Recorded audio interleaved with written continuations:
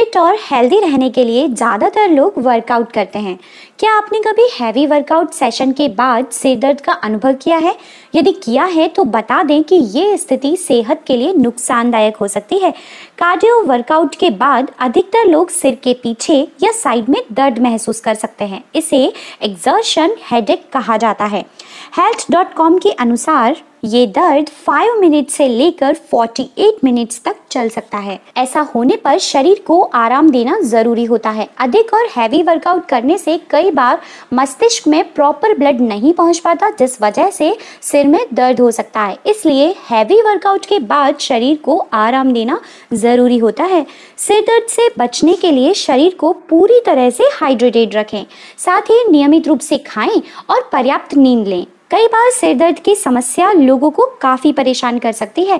ऐसे में ज़रूरी है कि किसी डॉक्टर को दिखाकर प्रॉपर ट्रीटमेंट लें। सिर दर्द को कम करने के लिए बिना परामर्श दवाइयाँ न लें। दुनिया में ज्ञान बहुत है और ज्ञानी तो उससे भी ज़्यादा, लेकिन काम का ज्ञान सिर्फ़ मैं ही दूँगी। बाय बाय दोस्तों, मिलते हैं नेक्स्ट वीडियो में।